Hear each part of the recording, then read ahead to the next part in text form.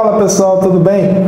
Quer aprender matemática de uma forma rápida e definitiva para o concurso do TJ São Paulo? Então esse vídeo é para você. Sejam bem-vindos a mais uma estreia aqui no nosso canal. Para quem não me conhece, sou o professor Marcão e junto com o professor Renato Oliveira, através do método MPP, ajudamos nossos alunos a transformar sonhos em realidade. E nesse vídeo de hoje, tá aqui, ó, tá aqui. Matemática para o TJ São Paulo. Aprenda definitivamente. Repete aí na sua casa, para cima deles. E não deixe o inimigo agir. Ó, energia, ó. Juntos conseguiremos essa vaga, eu tenho certeza disso. Mas antes de começarmos aí a trocar uma ideia, baixe o material da aula e inscreva-se no nosso canal e ative a notificação, que é o famoso sininho. Ativando o sininho, sempre que rolar uma publicação aqui no canal, vai chegar o vídeo para você. Sensacional, né? É isso aí, vai chegar o vídeo para você. E agora, pessoal, sem mais delongas, vamos a mais um depoimento de um membro da família MPP. Né? Esses relatos que nós recebemos aqui diariamente é o que mostra de fato que estamos no caminho certo, que estamos realmente, o que eu falo sempre no início, transformando o sonho de cada aluno em realidade. É isso aí. Vamos lá, pessoal. Olha que depoimento bacana do Everton. Vamos lá. Só tenho a agradecer à família MPP na prova da PM São Paulo. Com os métodos de vocês, guerreiros professores, né, Marcão e Renato, só me ajudaram.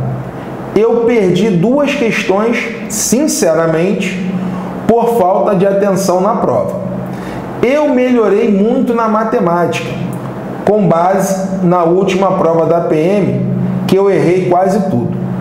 De verdade, hoje estou bem melhor e quero sempre estar aperfeiçoando mais e mais com vocês. Um abraço, gratidão, Everton José da Silva. Everton, sensacional o seu depoimento. E eu tenho certeza que o seu relato vai incentivar aí outros guerreiros e outras guerreiras do meu Brasil. Cara, primeiro passo para o sucesso é você acreditar e tirar da tua mente, né, essa coisa que vai dar errado, que matemática não é de Deus, que você não vai conseguir aprender. Cara, se fosse assim, ninguém passaria na prova, porque a dificuldade, ela não existe só para você. É na maioria dos alunos. Né? A dor dos alunos, resumindo, é a matemática e o raciocínio lógico. E nós estamos aqui justamente para mostrar para vocês que é possível, que o impossível é possível. E vamos juntos nessa caminhada e eu tenho certeza que muito em breve eu estarei lendo aqui o seu depoimento. Legal? Agora, pessoal, é de verdade. Caneta e papel na mão, energia lá em cima. O passado é o passado, né? Vamos deixar isso de lado e vamos olhar para frente. Para frente é que se anda e vamos juntos nessa jornada. Legal? Mais uma aulinha aí do TJ São Paulo. Então tá aqui, pessoal, as nossas redes sociais, né? Trocamos likes e seguimos de volta. Tá aí o mestre Renato. Aqui são as minhas. Vai lá no meu Instagram, tô precisando de seguidores, né? E cara, vamos juntos nessa. Tá aí, muito simples o meu, né, o meu Instagram, Marcão MPP. E vamos lá, tá aqui a primeira questãozinha de hoje. Começamos aí com geometria, assunto ângulos. Olha aí uma questãozinha da VUNESP. Vamos lá. Tá aí, pessoal. Simbora, hein? Dois quadrados, tudo lindo, foram construídos sobre os lados de um losango e um triângulo, olha aí, ó, foi construído a partir dos lados desses quadrados, conforme mostra a figura. A medida do ângulo alfa, olha aí pessoal, cabeça de gelo, tranquilidade, legal? Sem desespero, vamos passo a passo no totozinho que a gente consegue. Olha aí pessoal, Tá aqui. Primeiro eu vou olhar esse losango, tá? Olha aqui, pessoal. Os ângulos opostos de um losango, eles são iguais. E os ângulos adjacentes, eles são suplementares. Então, se esse ângulo aqui, ó,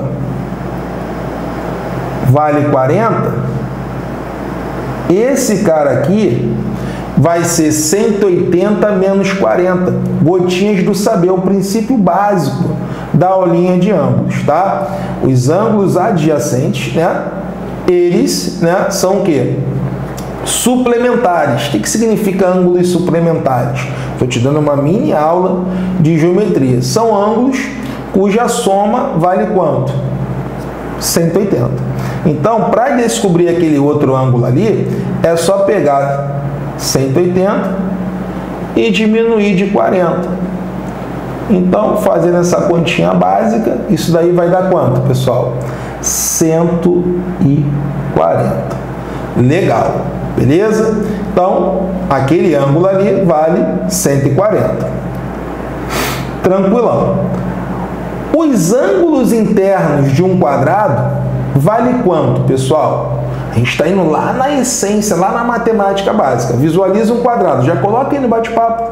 Legal? Por favor, vamos lá. Então, quadrado. Imagine um quadrado. Quanto vale a soma? Quanto vale, perdão, cada ângulo interno de um quadrado? 90 graus, né? Que é representado por esse quadradinho aqui, ó. Então, quando você olha esse quadradinho aqui na figura, isso significa 90 graus. Então aqui é 90 e aqui também é 90, sim ou não? Então já tem como eu descobrir esse ângulo aqui que eu marquei com dois tracinhos. Por quê? Quanto vale uma volta? 360. Se você prestar atenção no que eu estou falando, tá tudo lá na matemática básica ângulos suplementares, né? ângulo de 90 graus, ângulo de uma volta, ângulo de uma volta, uma volta, vale quanto? 360. Então, pessoal, vem comigo, vem com o tio Marcos. Se eu somar esses caras, tem que dar quanto?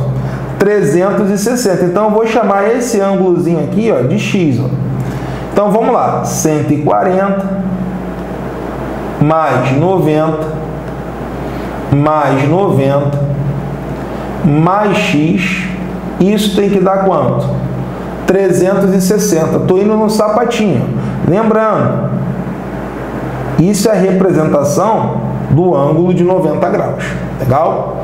Então vamos lá. 140 mais 180 mais x, isso tem que ser igual a quanto?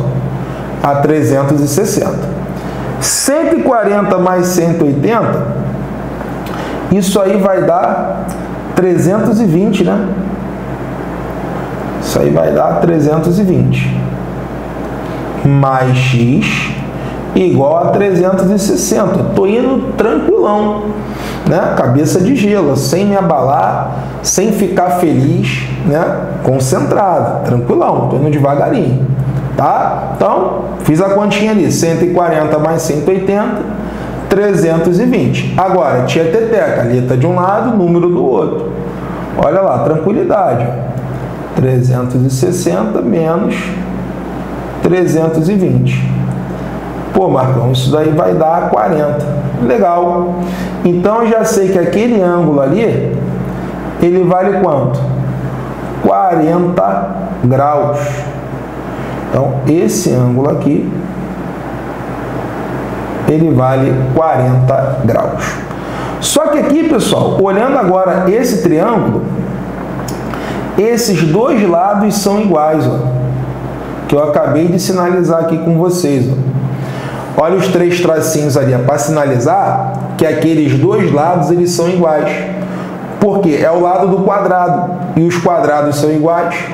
Então, um lado é igual ao outro, né? Esse lado é igual ao outro, né? Está ali na marcação. Então, pessoal, se tem dois ângulos iguais, consequentemente tem, perdão, se tem dois lados iguais, consequentemente tem dois ângulos iguais. Então, se esse ângulo aqui vale alfa, esse ângulo aqui também vale alfa. Repetindo, por quê? Se tem dois lados iguais, consequentemente tem dois ângulos iguais. Então, se esse ângulo aqui ó, vale alfa, o outro ângulo também tem que valer alfa. Aí ficou fácil, pessoal. Quanto vale a soma dos ângulos internos de um triângulo? 180 graus. Então, se eu somar aqueles caras ali, ó, 40 mais alfa mais alfa, isso tem que dar 180. Estou indo passo a passo. Poderia ali já fazer de cabeça a continha, mas eu entendo a dificuldade e estou indo aqui para você entender. Legal? Então, a soma dos ângulos internos de qualquer triângulo vale quanto? 180 graus. Então, somando os ângulos, tem que dar quanto? 180. Aí vamos lá, 40 mais 2 alfa é igual a 180. 2 alfa vai ser igual a 180 menos 40, que vai dar 140. Então, tudo lindo. Olha aí, para marcar o V da vitória.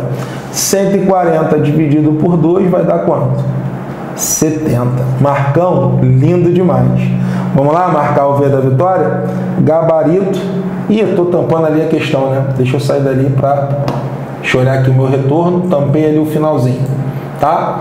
Gabarito, letra E. Sempre que eu olhar para o ladinho aqui, pessoal, é por causa do outro retorno que eu tenho. Tá? Não fica, ah, Marcão, que isso? Não, tá metido? Não, tô metido não. Humildade sempre, tá? Porque eu tô olhando aqui o retorno para poder olhar o que você está vendo. Legal? Então, pessoal, gabarito, letra E de eu vou passar no TJ São Paulo e vamos para a próxima questãozinha. Legal? Daqui a próxima questão, deixa eu voltar. Legal, voltei e simbora. Vamos lá. Em um determinado evento, a razão entre o número de homens e o número de mulheres, nessa ordem, pode ser representado por 0,2.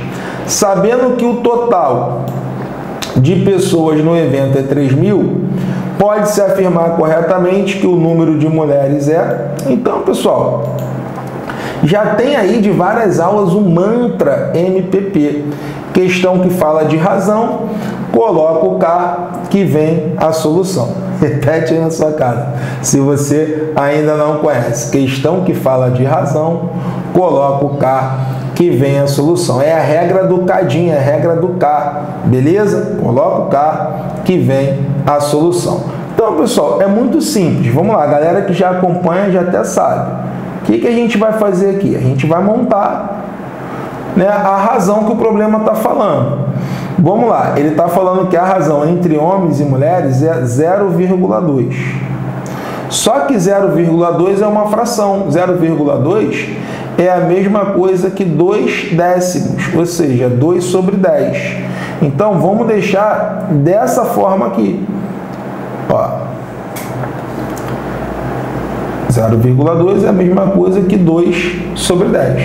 Legal. Questão que fala de razão, coloca o K que vem a solução, não é isso? Então vamos lá, tá aqui, ó. Vou colocar o K. Colocando essa galera em função do K, homens vai ser igual a 2K e mulheres vai ser igual a 10K. Só que ele fala o total para gente. Quanto é o total de pessoas? Está ali, ó, 3 mil. Então, de uma forma muito tranquila, se eu somar o número de homens com o número de mulheres, tem que dar quanto? 3 mil. Então, é só fazer a continha. 2K mais 10K, isso tem que ser igual a quanto? A 3 mil. Legal.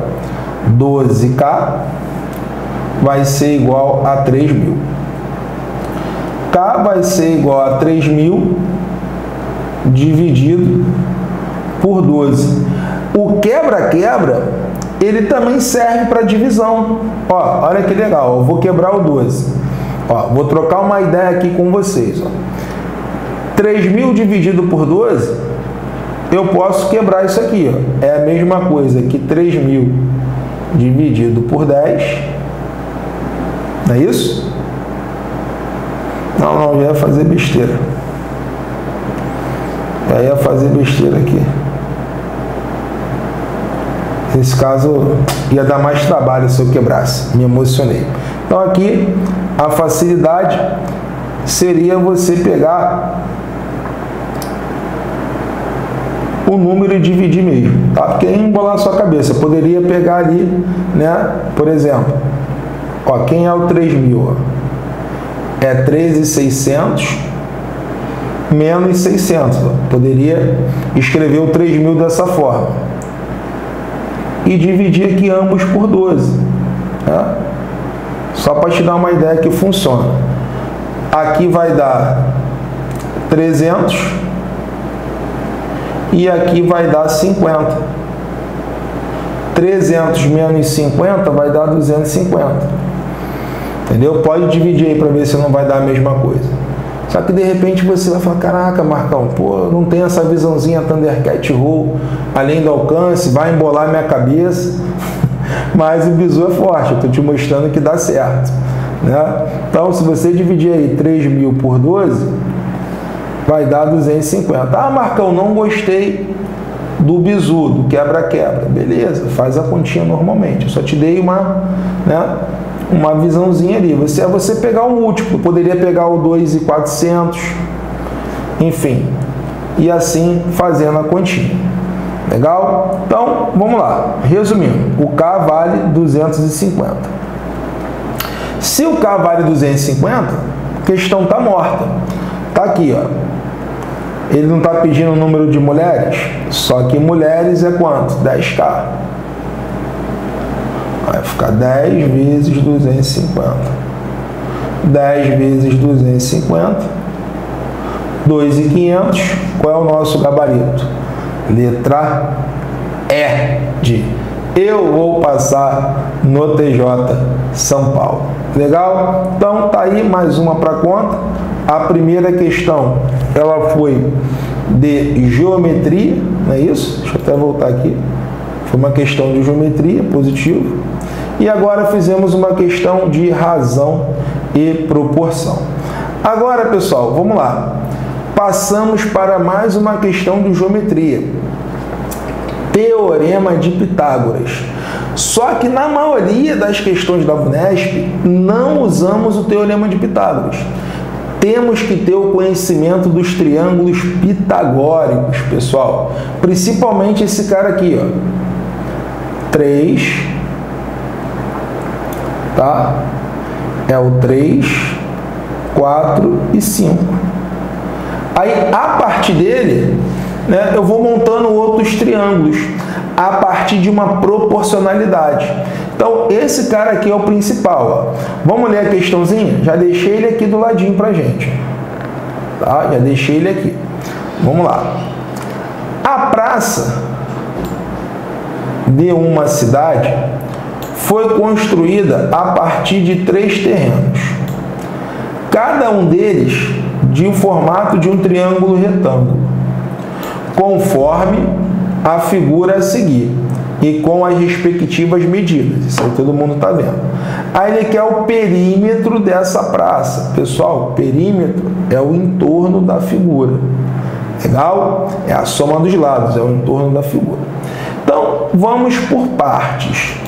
Já troquei uma ideia sobre o pitagórico, para não ter gritaria. Agora a gente vai aplicar isso dentro do exercício. Vamos lá. Começando aqui pelo triângulo P. Ó, vou começar aqui pelo P. Pô, 3, 4 e 5, não é isso? Então aqui vale 4 metros. Legal. Já achei ali um pedacinho, né? que é exatamente o 3, 4 e 5. Agora eu vou usar a ideia da proporcionalidade. Olha esse triângulo G, pessoal. Não, vou começar aqui pelo M. Olha o triângulo M. 9 e 15. Como é que eu vou usar a proporcionalidade? Quem é o 9? O 9 é 3 vezes 3. Quem é o 15? É 3 vezes 5. Ó, então, pessoal, A constante de proporcionalidade desse triângulo é o 3. Ó, o triângulo é 3, 4 e 5. Aí eu peguei o 3 e multipliquei pelo 3. Só para você entender. Peguei o 5 e multipliquei por 3. Aí deu 15. E agora, para seguir a lógica, eu vou pegar o 4 e vou multiplicar por quanto? Por 3. Então, esse pedacinho aqui, ó, que está pontilhado, vale quanto? 12. Presta atenção agora, para a gente dar o fatality. Por quê? O 12, cuidado, ele não vai entrar na conta do perímetro. Porque perímetro é o entorno da figura. Então, na verdade, eu preciso descobrir aqui a soma desse segmento com esse, que faz parte do entorno da figura. Quanto é que vale a soma desse segmento com esse? Pessoal, muito simples. Basta nós encontrarmos a hipotenusa desse triângulo G, a hipotenusa, que é o segmento todo, e diminuir de 12. Simples assim. Aí eu vou usar a ideia da proporcionalidade novamente. Vamos lá, vou até apagar aqui para você entender a parada. Ó. A referência é sempre esse triângulo, 3, 4 e 5. Aí como é que eu vou aplicar isso agora no triângulo G? Vamos lá, você que está sofrendo com a matemática. Ó, o 20. O que, que eu tenho que fazer, por exemplo, com 4, para ele chegar no 20? Qual é o número que eu tenho que multiplicar aqui? Ó? O 4 para ele chegar no 20. Pô, Marcão, é o 5. 5 vezes 4 vai dar 20. Legal. Já descobri aqui alguma coisa. 5 vezes 4 vai dar 20.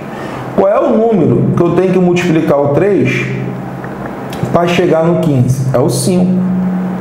5 vezes 3, 15. Está aqui. Ó. Então, pessoal, qual é a conclusão que eu chego? eu descobri aqui a constante de proporcionalidade. Então, a hipotenusa vai ser 5 vezes 5. Quanto é que dá 5 vezes 5? 25. Então, pessoal, a hipotenusa desse triângulo vale 25. Para descobrir aquele pedacinho ali de vermelho, esses dois pedacinhos, eu vou diminuir. Vai ser 25 menos 12. Quanto é que dá 25 menos 12? 13. Então, aqueles pedacinhos ali, somados, dá quanto? 13. Aí eu matei a questão, pessoal. Por quê? Vamos lá. O que é perímetro? É a soma dos lados. Então, simbora. Começando aqui a contagem. Vou achar aqui o perímetro. Perímetro dessa figura. Questãozinha bonita. Ó, vamos lá. 15 mais 20 vai dar quanto? 35. 35 mais 3. Né? 20, perdão, 20 mais 15, 35. É o inimigo agindo. Voltando aí a fita. 20 mais 15, 35. 35 mais 5, 40. 40 mais 3, 43. 43 mais 4 vai dar 43 mais 4 vai dar 47. É isso?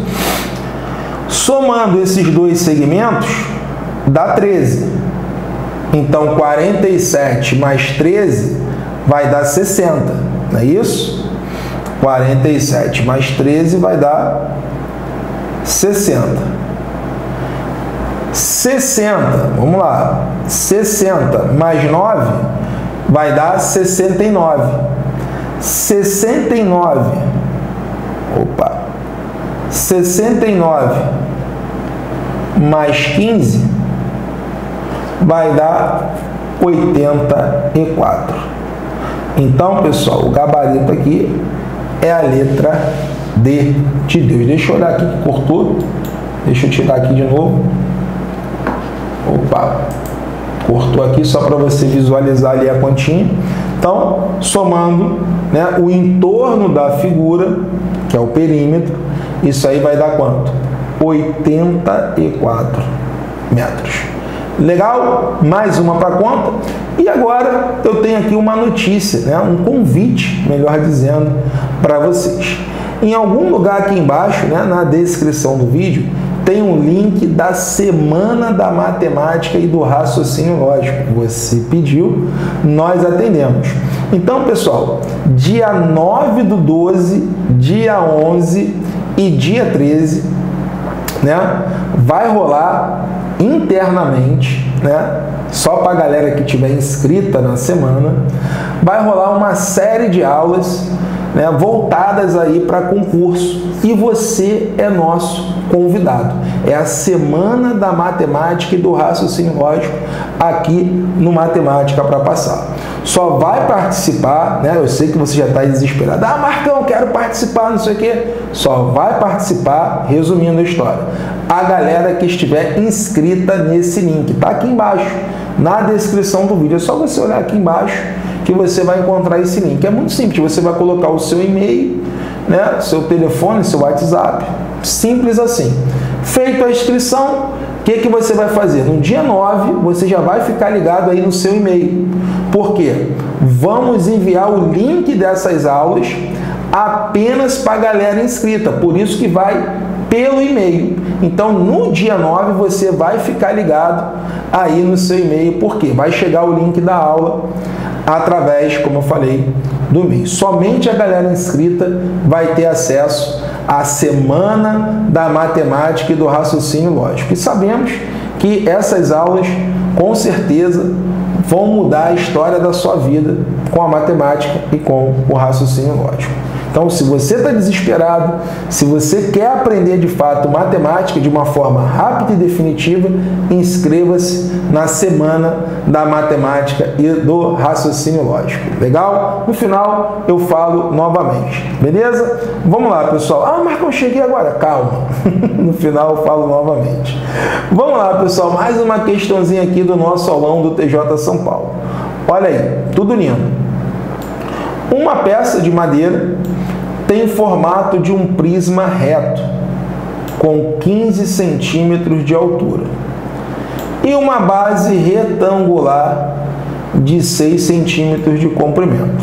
Sabendo que o volume da peça é de 720, a área da base, aí pessoal, é receitinha de bolo, CLA. Como é que a gente acha o volume de um paralelepípedo? É a área da base vezes o que? A altura. Só que aqui no matemática para passar, patenteamos CLA. Comprimento vezes largura vezes altura. Em outras palavras, é o produto das dimensões. Multiplica todo mundo. É só você multiplicar aqui, ó, 6 vezes x vezes 15. Isso daí tem que dar quanto? 720. 6 vezes 15 vai dar 90. 90x igual a 720. x vai ser igual a 72 dividido por 9. Já passei o facão no zero, né? Pou, pou. 72 dividido por 9 vai dar 8. Então o x ele vale quanto? 8 centímetros. Só que ele está pedindo a área, né? Quanto é que vale a área? É a área do retângulo. 6 vezes 8. Quanto é que dá 6 vezes 8? 48. Então, pessoal, olhando aqui as opções, qual é o nosso gabarito? Letra E de eu vou passar no TJ São Paulo. E essa foi a nossa última questãozinha Marcão, não acredito. É isso aí, pessoal. Essa foi a nossa última questão, mas não vai embora. Por quê? Tá aqui, ó, a solução para os seus problemas. Você que está estudando para o TJ São Paulo, você que já está antecipando aí os seus estudos, está aqui. Né? Com certeza a matemática, né, sabemos que é um grande entrave aí, é a dor realmente do aluno, porque o cara vai bem constitucional, o cara vai bem em informática, Aí chega na matemática, o cara dá mole, aí é na cabeça. Só que aqui, pessoal, é um curso específico voltado para a Unesp. E todos esses macetes que passamos aqui nos aulões gratuitos no YouTube, você vai encontrar nesse curso, né? E focado na, no que a sua prova pede, no seu edital. Então é um curso que realmente vai levá-los aí para um outro patamar. E eu não preciso nem falar para você que a concorrência é muito acirrada, a média, né? Ela não é baixa para o concurso do TJ São Paulo. E cara, um ou dois erros ali, você indo mal em matemática, com certeza vai jogar você lá para trás. Então, pessoal, tá aqui a grande chance, a grande oportunidade. Venha estudar com a gente e vamos acabar de vez com o medo da matemática. Vamos encarar esse probleminha de frente. Por isso que eu falo, juntos conseguiremos essa vaga. Marcão, como é que eu faço para comprar esse curso? Está aqui na descrição do vídeo. Tem o link do curso, você vai clicar e lá tem todas as informações. Tem vários casos de sucesso, tem uma aula gratuita para você assistir e o valor do seu investimento está lá no final. E você, né, eu sempre falo isso, né? Se você colocar aí esse valor né? Você pagando mensalmente, cara, dá menos de uma pizza do final de semana. Você não vai acreditar. É? E se você tiver alguma dúvida, entre em contato com a gente através das redes sociais do Matemática para Passar ou através do nosso WhatsApp, que também está aqui na descrição do vídeo. E por fim, para finalizar aqui a nossa conversa, qual é a jogada, pessoal? Como eu falei ali durante a aula. No dia 9, faremos a semana, vai ser o pontapé inicial da Semana da Matemática, pessoal. Semana da Matemática, é isso aí que você está ouvindo. São aulas né, gratuitas que serão apenas né, disponibilizadas para a galera que tiver inscrita na, né, no link que está aqui embaixo. Ah, Marcão, cadê a aula? Você só vai acessar a aula se você estiver inscrito nesse link. Está aqui embaixo. É fácil, é só você colocar o teu e-mail e o teu WhatsApp.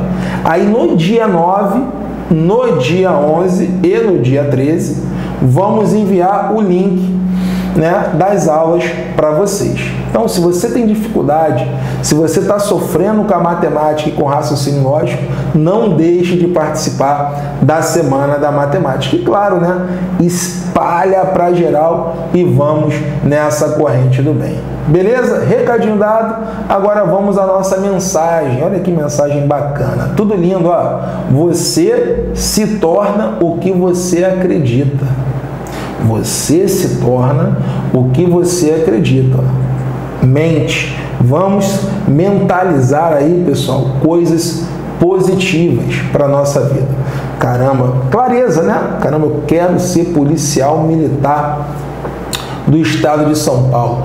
Eu quero ser analista judiciário do TJ São Paulo. Eu quero ser técnico judiciário do, né, do estado de São Paulo. Cara, mentalizar é mental, que o poder da mente está contigo. Né? ter clareza naquilo ali e depois traçar uma meta para chegar nesse objetivo. Pessoal, o impossível é possível, basta você acreditar. Legal? Matemática é o que, pessoal? Para passar. Um forte abraço. Valeu!